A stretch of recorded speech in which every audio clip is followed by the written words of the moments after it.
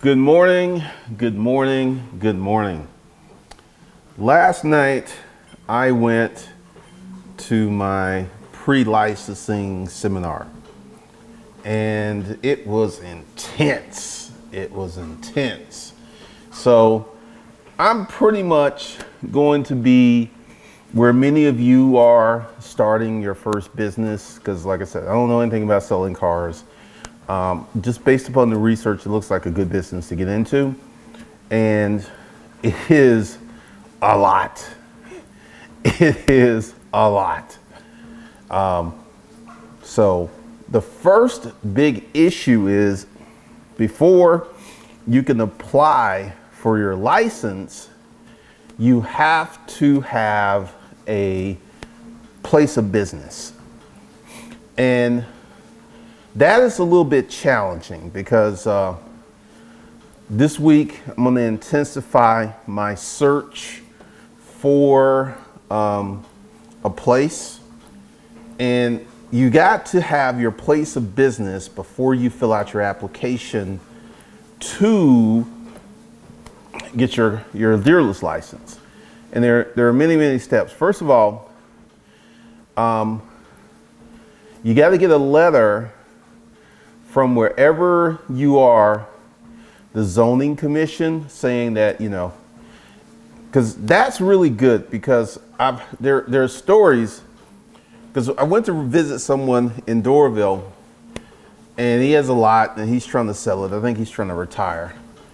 And um, he said that many people have tried to start kind of businesses and they spent money and the city of Doraville would not approve their business. So that is wise. Now, this is something I might have to do to get this thing started. I might have to go for my broker's license, which means you could sell cars out of an office building, but you can't have a lot. You will be a broker or a dealer. So essentially, when you get your dealer's license, your cars need to be at your place of business. And that's not going to work in the office park because the parking is going to be reserved for uh, people in the office park and their customers and stuff. So you could not have a, I mean, it, it, it gets a little tricky because there's a, there's a dealership on Car Gurus that is, um, they're in a warehouse type situation, I believe. And every time they have a car for Car Gurus, the car is parked in front of the office, and there's only one car, and it's always parked in the same spot. So I don't know because what I thought would be permissible would be to get a small place and have a another place that you could store cars, but it, it doesn't work like that. I mean, you could do that um, low key. You know, I'm all about the illegal illegal, where I could have a small lot and then I can buy more cars and I will advertise them from that lot, but I would just store them somewhere else. Uh, now, I could not sell them from that location. That's called curb stoning and there's some hefty fines. You remember back in the day, and this is something you used to see, like someone would have a car for sale and then be parked in front of a grocery store. You don't see that anymore. There's a reason. It's a thousand dollar fine, and they will impound that car. So I got a lot to learn. I'm estimating this is going to take me about three three months to get up and running because the big issue is the location. Uh, the auctions, once you get your license, the auctions are every week. So buying cars for the lot, that's not a problem. But it is finding the lot and deciding what way I want to go because I could get a broker's license and buy one car and sell one car and buy one car and sell one car. Or pretty much get an office park and pretty much have five or 10 cars. I could do that. Um, and then grow the business because it's easy once you have a dealer's license to transfer that license to a new location. That's much easier than starting off. So that that's an option because uh, I can go over to this office park who's literally around the corner from my house and they have a lot of parking. A lot of parking. I mean, I could pr pretty much, I can do about 50 cars there. Uh, easy, because uh, I was in that office park and I know how the parking lot works. And uh, there's a, I mean, so I'm going to talk to some people about uh, getting this set up and working on it. But it is um, really interesting, this car business. There's a lot to it. There's a lot, because I'm going to need some more education. I'm probably going to buy a course on it, because essentially, you know, selling the car to someone out of state, there's rules and regulations selling a car to a disabled veteran with a pat. There, I mean, there, there, there's a lot that you have to do. And, you know, for me being on the buying side, I was a very simple car customer. Even when I bought my car out of state, I bought the X5 out of state because I couldn't find the color combination that I wanted here in Georgia. So I had to go to Florida and it worked out well. So another thing, and this is something that I may take half of the money and do. I may go ahead and have a car rental program where you rent a car, buy some really cheap cars, thousand, fifteen hundred bucks, and rent them out for 20 bucks a day. Um, that's something that's, you know, 20 bucks a day. It's like 600 bucks per month. And essentially, in two months, these cars are paid for. So rent these cars out first for two months and then sell them on a payment plan. You know, let's say I got a car for a thousand bucks, rent it out for two months. So the second month, I'm profitable on that car by 200 bucks and then I go ahead and sell it um, for like $3,000, buy here, pay here. So I've already made all my money back from the rental and now I'm sold the car and that is just more and more cash. So there, there's a lot of ways to do this. And since I'm an internet guy first, this gives me a lot of um, gives me a lot of flexibility because uh, the, the lady was saying last night that dealers would go ahead and have websites set up and they would own they wouldn't own the website. And I already know that I'm going to when I have my dealer site built I'm going to buy the domain name and I'm going to get someone to develop it and I will always own that I mean she was like there are people who have social media pages, they have websites that they don't own, which was crazy to me.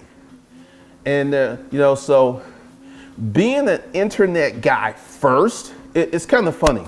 You know, with my matriculation from having a brick and mortar to go into a warehouse to go into an internet model, I have been selling on the internet since 2001, 2000, 2001. So I have about 20 years of selling on the internet. So this is something I know very well. And this is where most of the sales are going to be. So I got some questions to ask, some things to set up.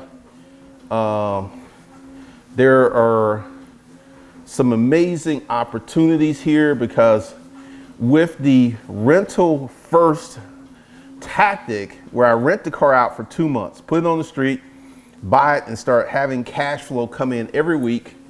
Um, in literally two months, that car has returned its original value, and I can put it on the street as a buy here, pay here for three to four thousand dollars. And also, here's something that's really interesting. Last night, I was I was the only one that was going to do buy here, pay here. And um, one of the things, and this is something the guy's like, he says he's the only one that wants to make money because you, you got to understand there, there's a lot of people out there with challenged credit. And then when we go ahead and put the credit program together, I got to find out how to report payments to the credit bureaus. Because essentially what I'm going to do is design a plan where I will report that payment to the credit bureaus. And I, I got to find out the, the legality of this. But you know how my jeweler's club, um, what is it, my jeweler's club and all this other stuff? If I can create a program where you're renting the car, which means that if you don't pay me, I can come get it. I don't have to wait no certain time. If I create a program where I can create a payment to the credit bureaus, that's going to be really, really powerful. And a lot of buy here, pay here's, they don't report. I don't know why, but I'm going to find out. Because if I can go ahead and say, hey, come in here and let's say I sell you this $2,000 car, right? And I was like, you go ahead and you build credit with me. And like in 18 months, let's say a year of you making on-time payments, and let's say you want to trade that car in and you want to upgrade. Uh, you've built credit with me. I trust you. I, I know you. So let's say you come in, you get a Honda for like $3,000 and you keep that for a year. Then a year you want to come in and you want to upgrade to like, let's say a $10,000 car. And because most buy here, pay here's, uh, there's a limit to where they, they stop.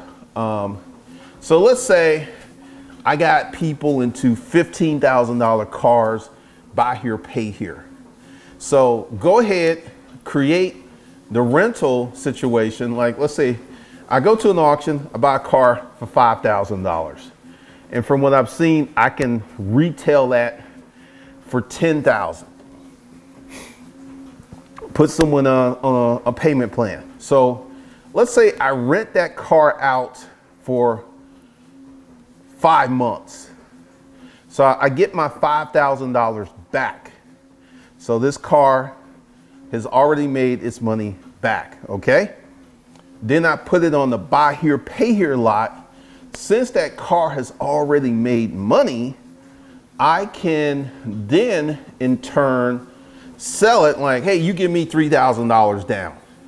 The car's already made its $5,000 back. I already have that back in my pocket from the rental. And then what I can do is sell it like, so I get my 5,000, I get the $3,000 down payment. So I'm $3,000 to the good.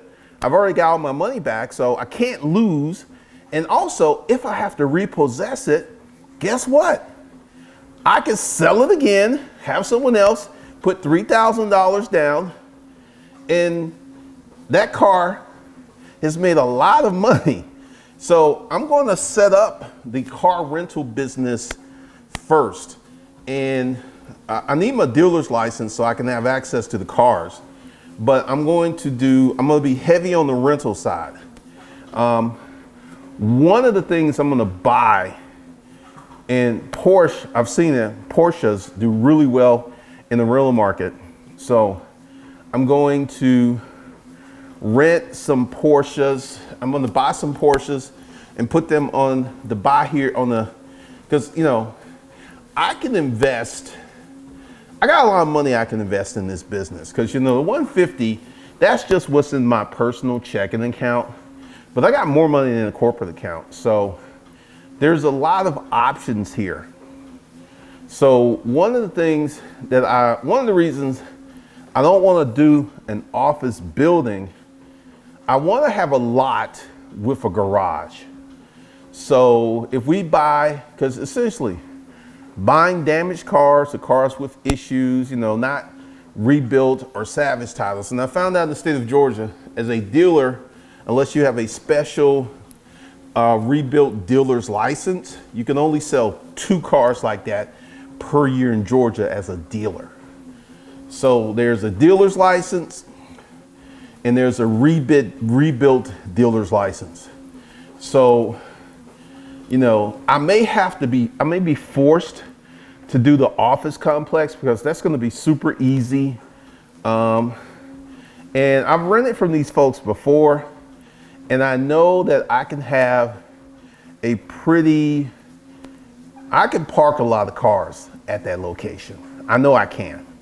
So, but the city of Sandy Springs, because the thing is, you have to get your dealer's license, you have to get your resale uh, certificate, your tax license, and then you have to get your business license, you have to get your surety bond, and then you have to get your insurance.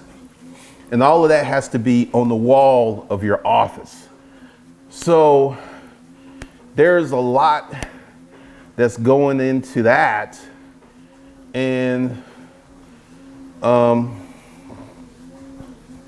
I really, I really don't know right now. So I'm going to start a new LLC. I'm going to call it Mac Daddy Autos LLC. Uh, I need to go. I may do it. I may go. I may head, may do that today. Um, put it part of the holding company structure. So we may be doing that.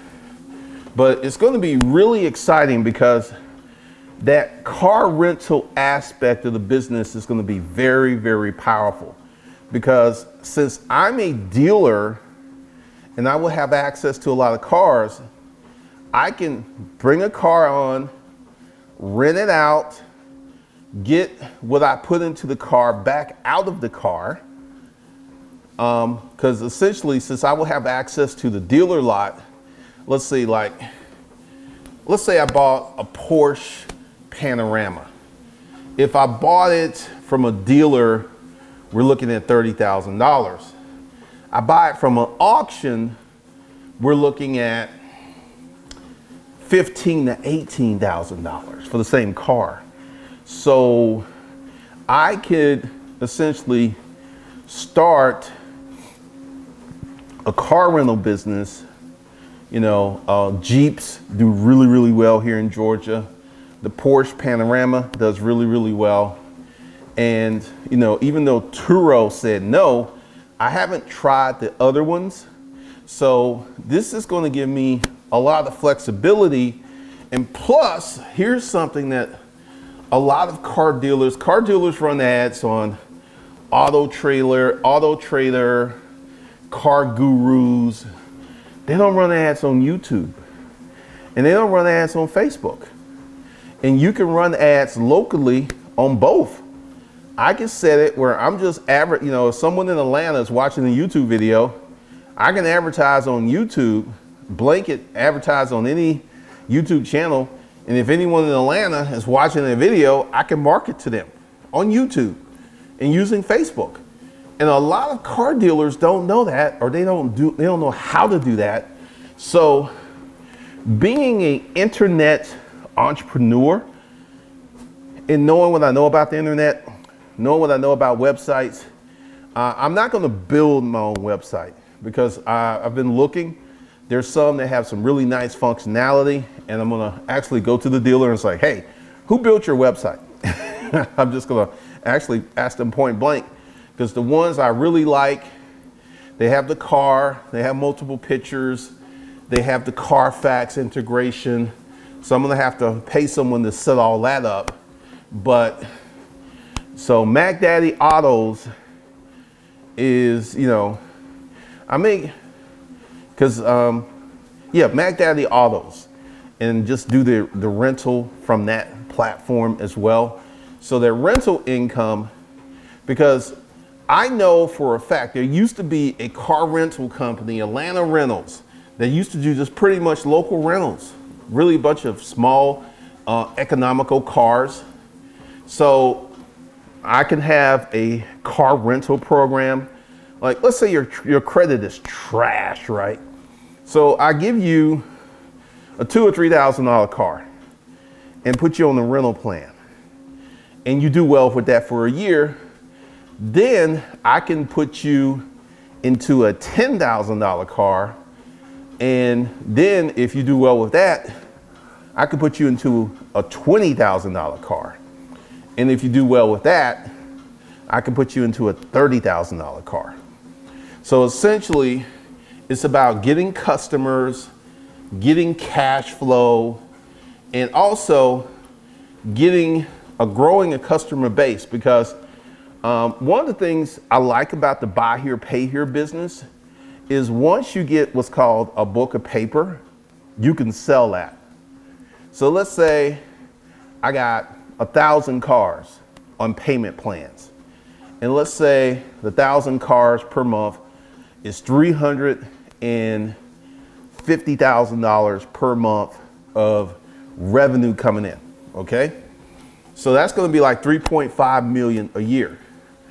I can sell that paper to a hedge fund. So let's say it's 3.5 and I've got, I've, I've, actually got the credit apps. I got the uh, sales jackets. I got it really tight and I can sell that for 3 million. Get a $3 million check and then they'll have to worry about the payments and all this other stuff from these people. Um, also, it is very much, you know, there's a lot of stuff I know, like when I text you guys that I'm doing the live stream, I have to have your permission, so I already knew that. So there was a lot of things that they were putting in there that I already knew. So being a internet first entrepreneur is going to help me very much so. Very much so. Um, I see this and it's going to take some time to get it together. And I got to, because the big thing I've noticed is that a lot of the car lots are clustered together. So I think that is a zoning issue because I see it all the time. Like you, you will see like a whole bunch of car dealerships literally across the street from each other in a certain area. So I know that those areas are zoned for, you know, car sales. And I got to get into it. I got to do some more research, but I feel that this is going to be very, very profitable. Now, I can't do credit repair, but I can do credit education.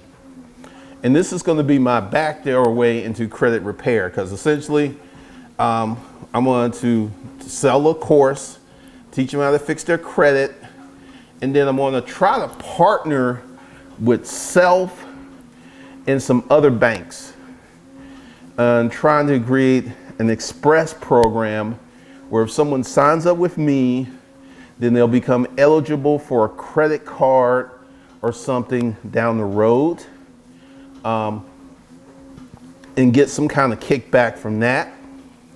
So I'm really, really eager to get this thing started and get it built out and get it going. Um, yeah, this is going to be exciting. This is going to be real exciting. So I feel that with all the plans that I have, in about two years, I could turn that $150,000 into um, 2.5, potentially 3 million $3 million, which is going to help me get that apartment complex much, much quicker. Much, much quicker. And, you know, I like cars. So this is going to give me the option, not the first year, because first year is going to be building. And I, I, I have no intention of taking any money out of the business the first year. So every dollar that the business makes the first year is going to go back into the business so having that $150,000 is going to be really critical to jumpstarting the business because I'm going to have to hire staff.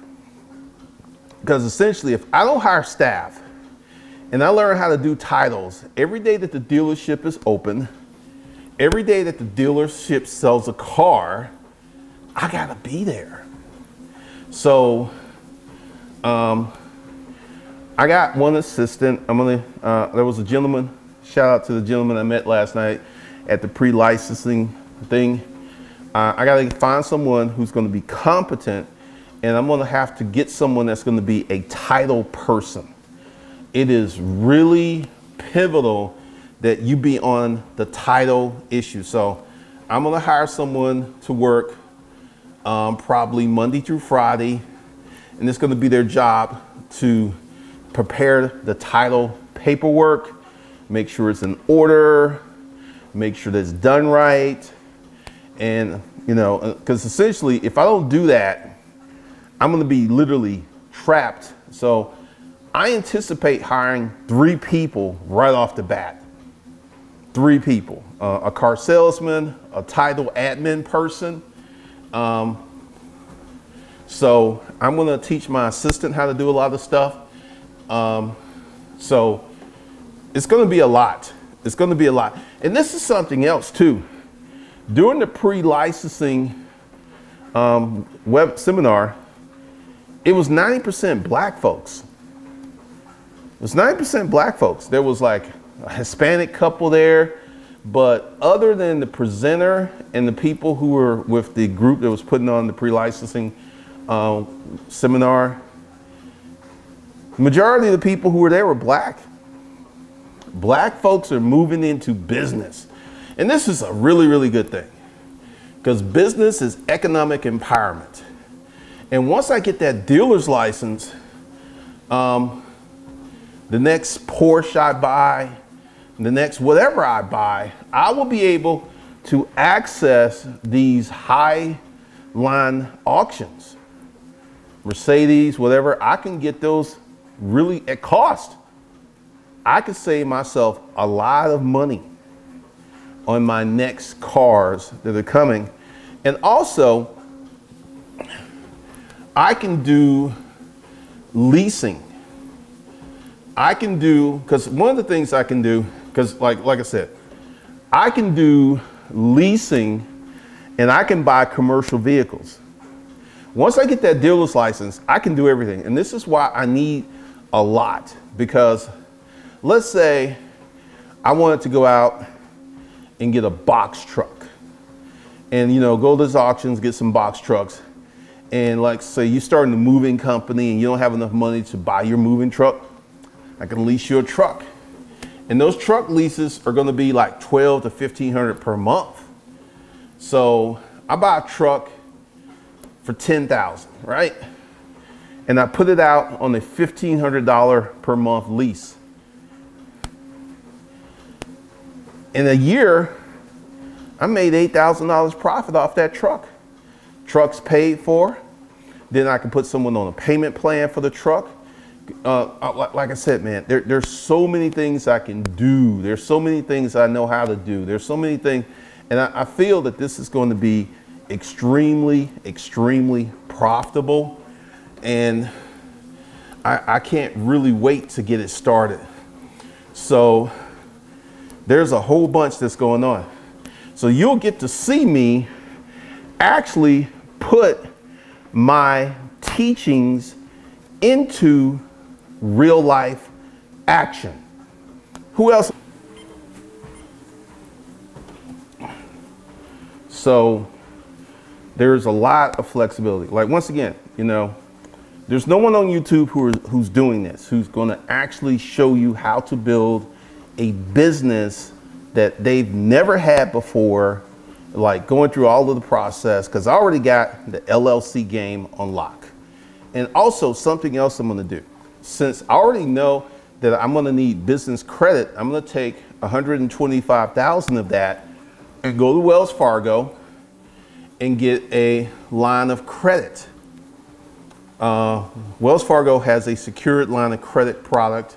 So I'm gonna find out if you can use a credit card at the auctions and I'm gonna get a secured visa from Wells Fargo. And if I use that, like, if I spend $50,000 a month on that and keep paying it off, because this is one of the things, when I set this up, uh, the guy said it could unsecure the higher credit limit than what I um, set it up for.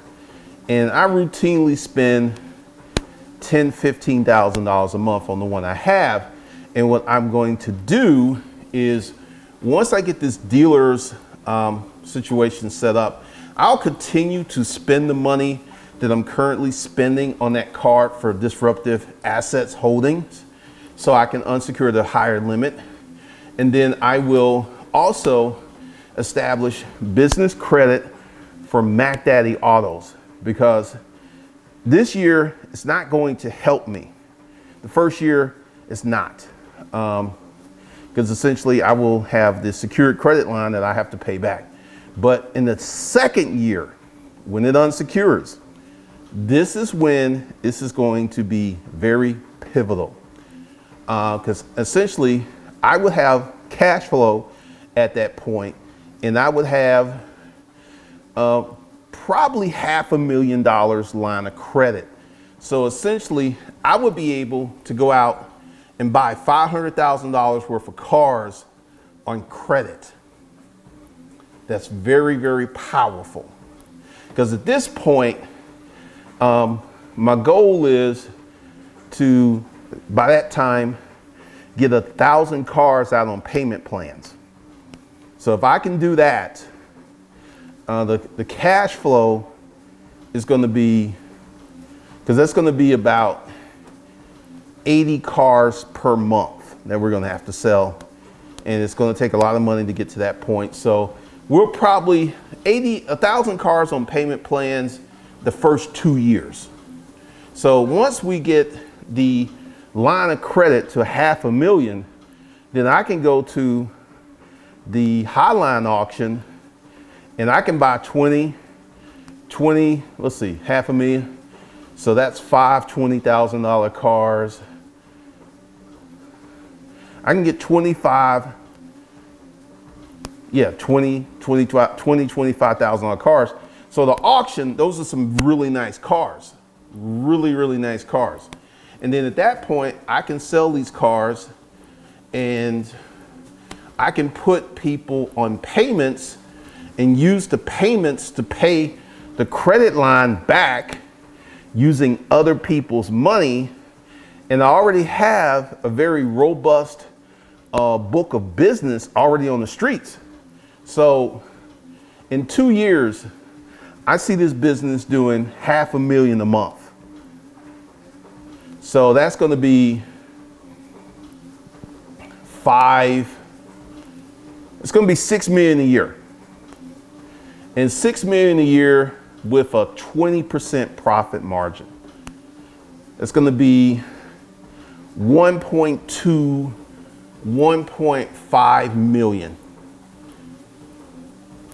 So it's going to kind of pale in comparison to, you know, and I'm also going to continue to do the online course business. I'm going to still do that because that's even more money but once, two years from now, my gross revenue should be about 10 to 12 million across the board. And then my take home is going to be two, 2.5, maybe 3 million after taxes. So that's going to essentially put me in a position to buy this apartment complex much quicker than four years. Much, much quicker.